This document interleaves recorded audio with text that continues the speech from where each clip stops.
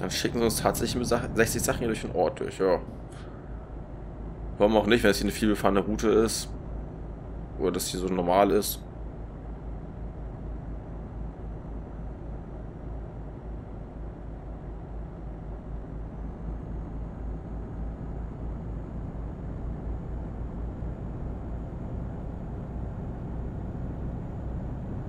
Na, hat der Panzer rechts. Kriegsdenkmal wahrscheinlich.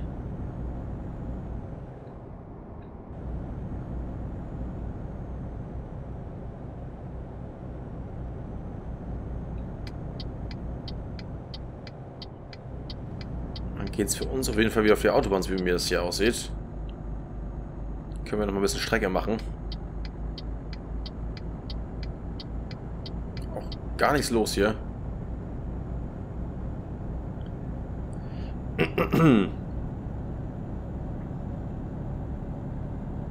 Naja, was sonst passieren? Wir haben vollen Tank, wir haben eine schöne Fahrt vor uns. Nach wie vor, soweit sind wir noch nicht gekommen bis jetzt.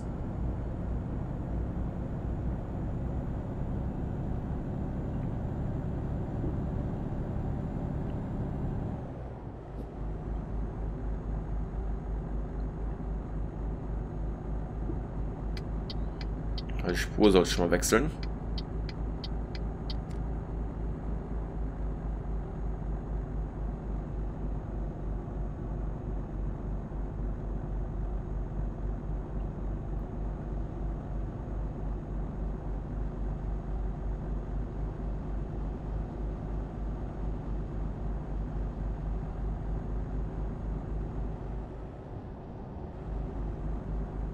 Ja, interessante Spurführung hier. Bisschen zappelig.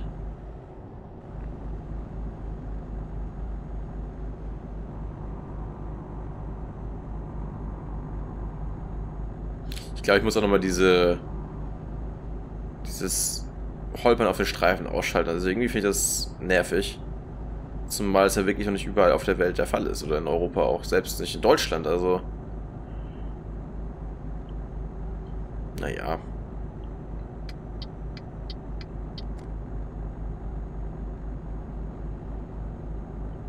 Für uns geht es geradeaus weiter. Na, die wollen aber auffahren, dann lassen wir die auch mal hier. Lassen wir denen mal die Möglichkeit aufzufahren.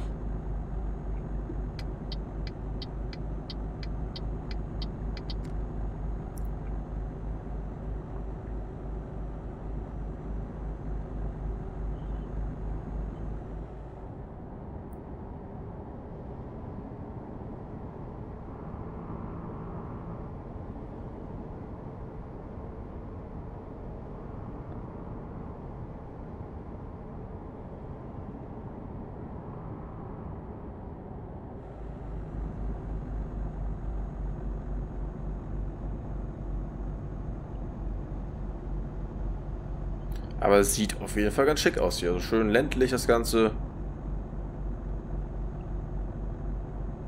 Weiß zu gefallen.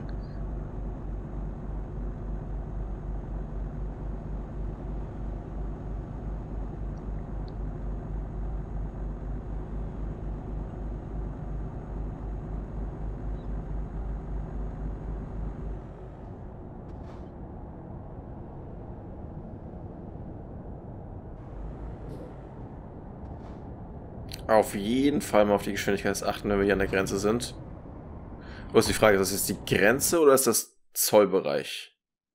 Ne, das sieht mir ganz an der Grenze nach Russland aus.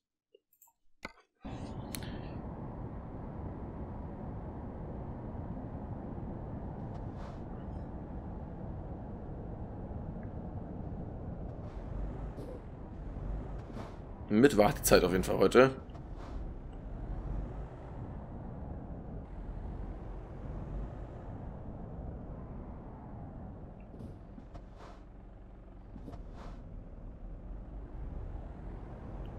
Da hätte ich mal rechts einordnen sollen. Ich mache das einfach mal noch schnell. Ich hoffe, dass ich diesen Trailer hier noch ordentlich rumkriege.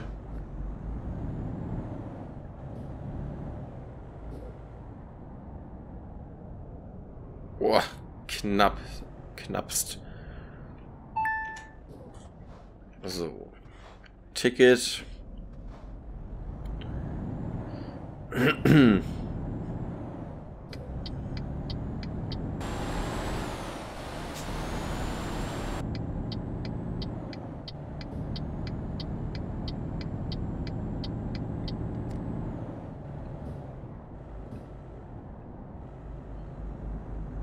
Hier auf jeden Fall die Geschwindigkeitsbegrenzung halten.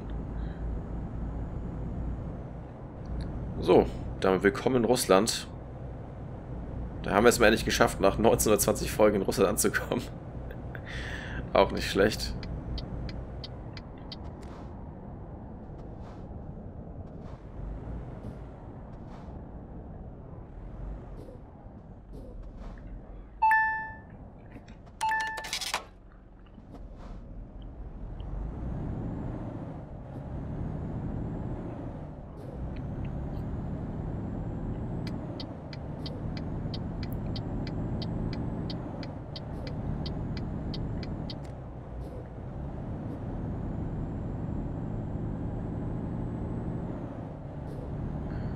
So, Russland, dann zeig mal, was du zu bieten hast.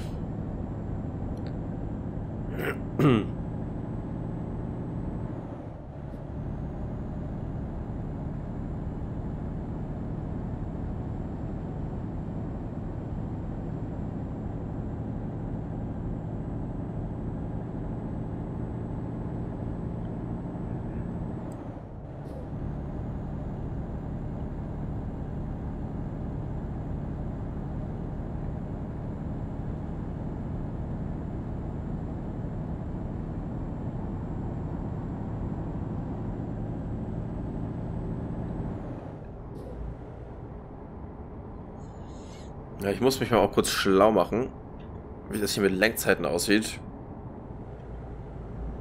Fünf Stunden noch Lenkzeit, okay. Das geht ja klar. Und Vergütung 1759 Euro für, die, für den Doseneintopf. 24 Tonnen.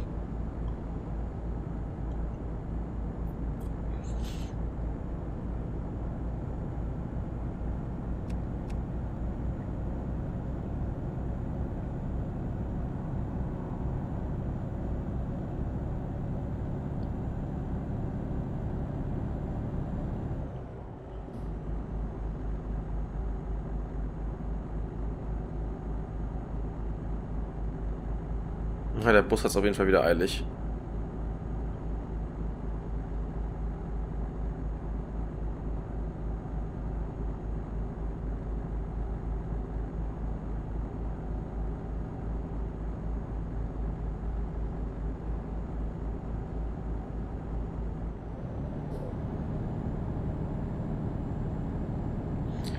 Da kommen wir auf jeden Fall ganz gut hin. Also wird es ja langsam dunkel.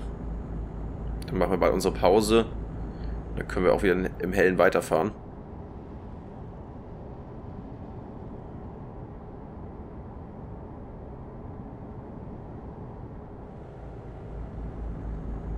Also so weit haben wir es gar nicht mehr, ne? 562 Kilometer. Ist ja halbwegs entspannt. Kann ich ja doch nochmal hier auf die genaueren Einsatzdetails schauen. Ähm, wir haben noch 26 Stunden Restzeit. Das ist natürlich super entspannt. Dann würde ich fast sagen, dass ich gleich schon mal die Pause mache. Na, dann ist natürlich noch finsterste Nacht. Wenn wir fertig sind. Ja, mal schauen.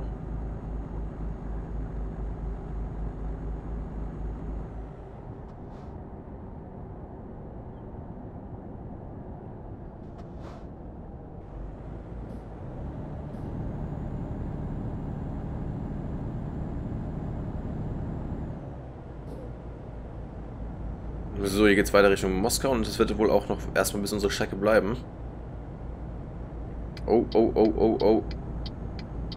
Das tut mir leid. Da habe ich gepennt.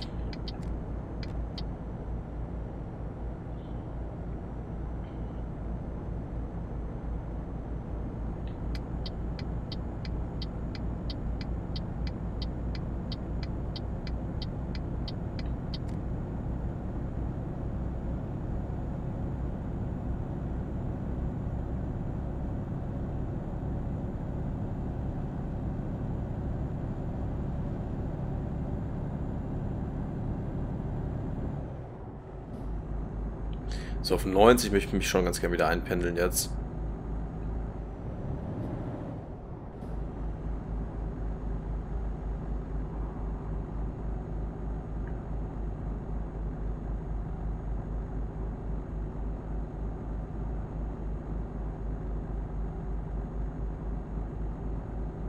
Viel mehr gibt unser LKW auch gerade gar nicht her.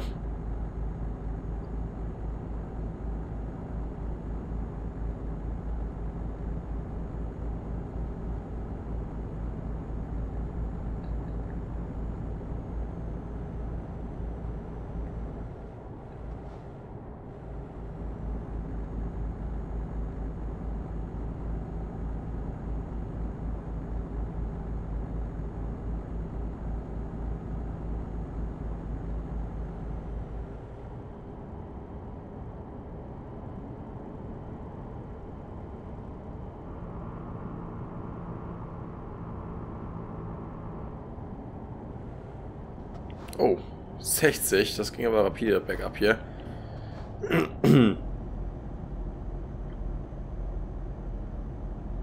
Und ich muss auch gleich abbiegen.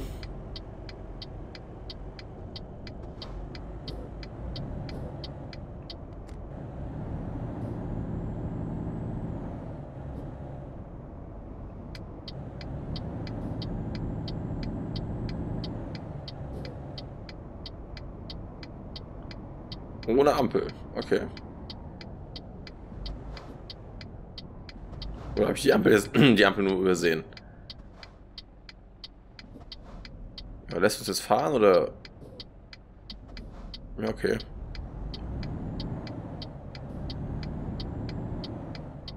Dankeschön.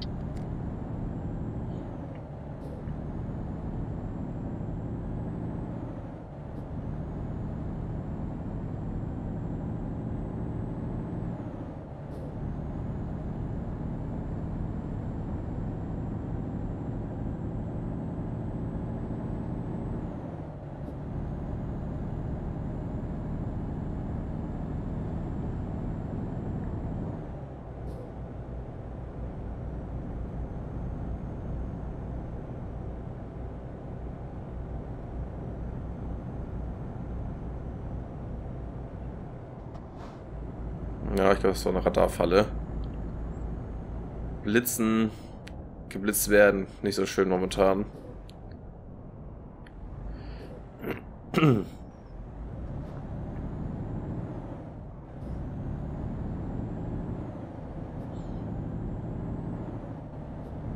Es bricht die Nacht hier auch langsam über Russland hinein. Oh, Entschuldigung.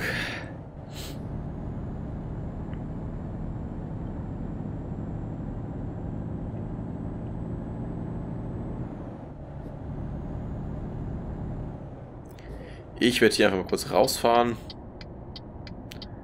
Hier einfach mal die Pause einlegen.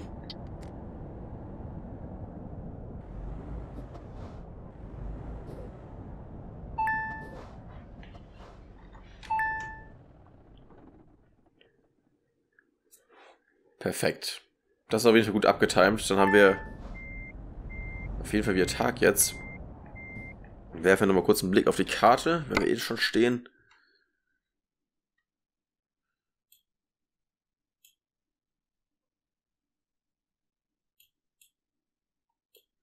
M19P87. Ja, also ich glaube mit den ganzen Landstraßen ist es hier noch nicht so weit her von unserer Fahrt momentan, aber beim nächsten Mal werde ich dann mal was Schönes aussuchen.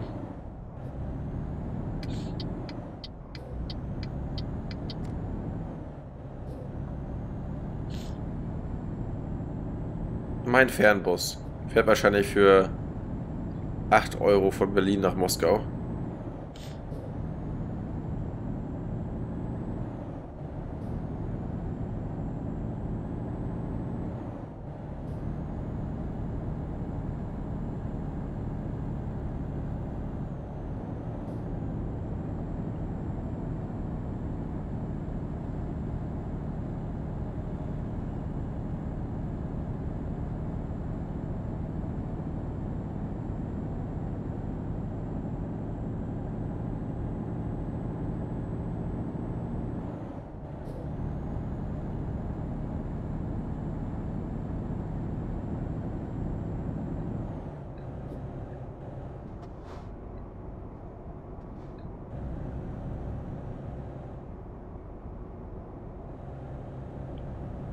Jetzt habe ich das Schild gar nicht richtig gesehen.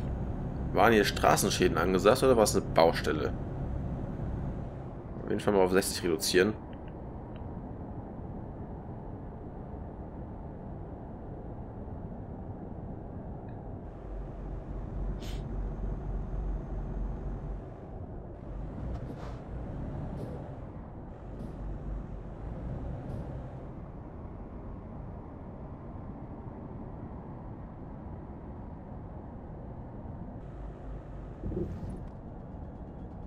Boah. Ordentliche Schlaglöcher hier.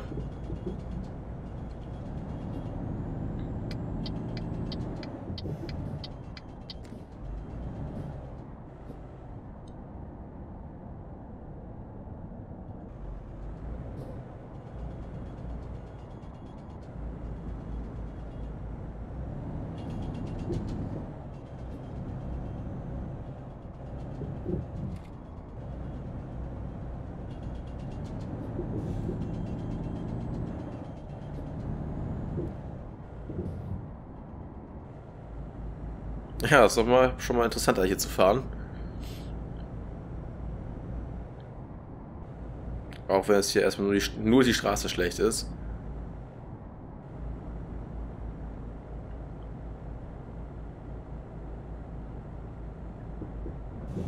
Boah, ist das ein Kolpere.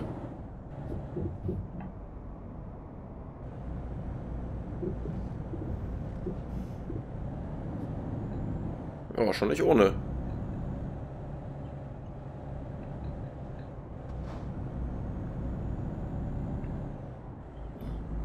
Jetzt müssen wir zusätzlich ein bisschen Geschwindigkeit aufnehmen, dass ich den Berg hier hochkomme.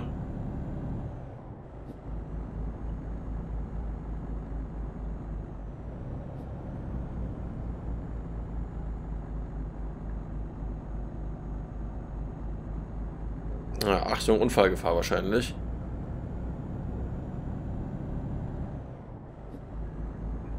Ah, die 80 ist wieder freigegeben.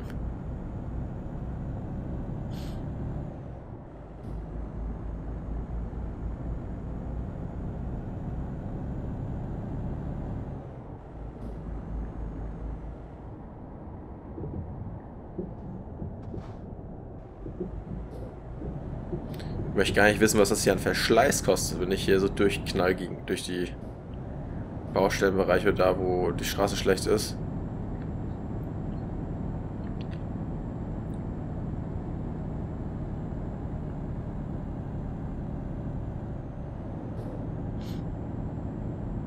Jo, hier könnten es auch mal wieder schneiden, wa?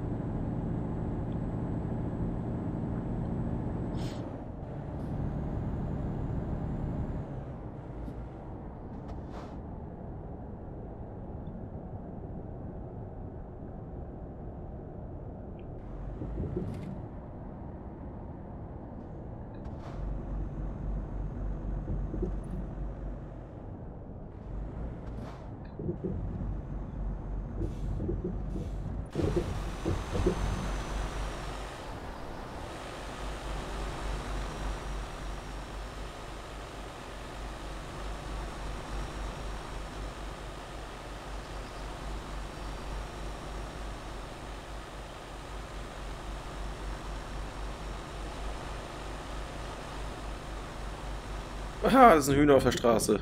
Geil.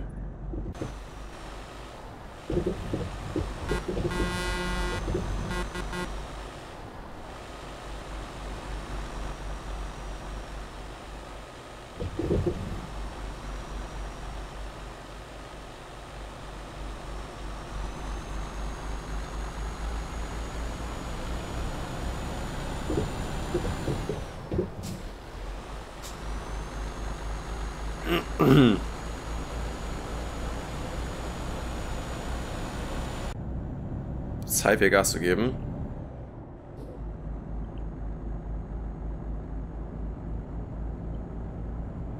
Fragt sich wahrscheinlich nur, wie lange das der Fall ist.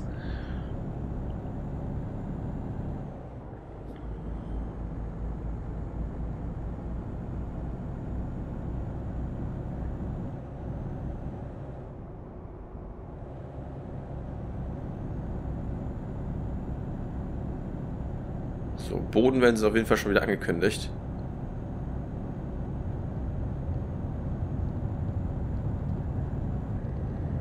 Ich hier 30.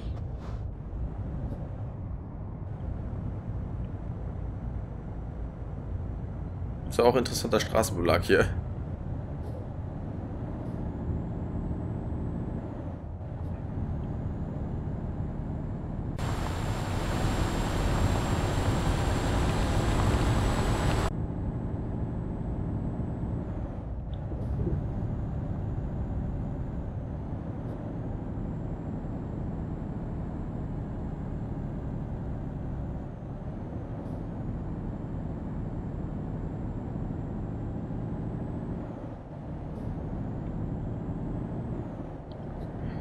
Ja, hier ist es schon wieder eine ganze Ecke besser ausgebaut.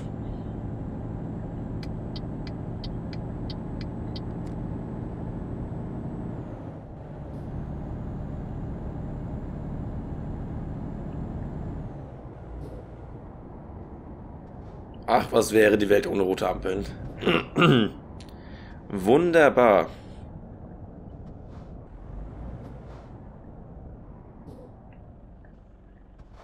Nee, nicht rückwärts fahren. Was ist hier los gerade?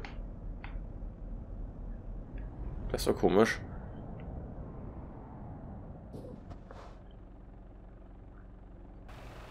Na, hoffentlich hat äh, zum Glück hat es nicht geknallt gerade.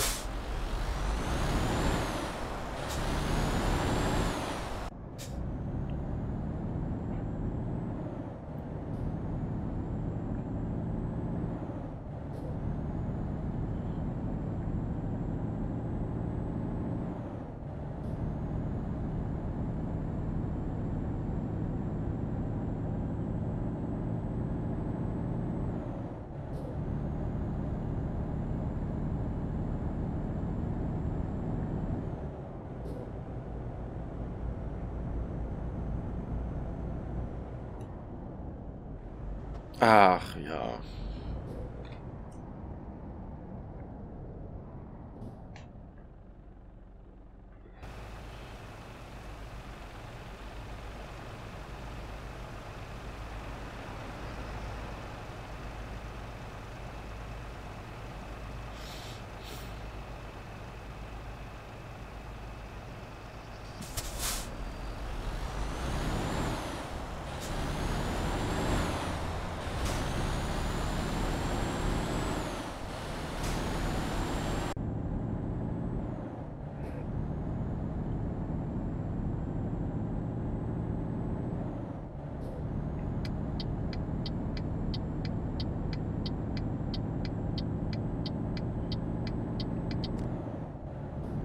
Ich glaube, dass wir jetzt wieder auf die Autobahn fahren.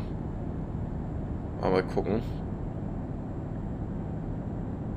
War eigentlich ganz nett hier auf den Landstraßen.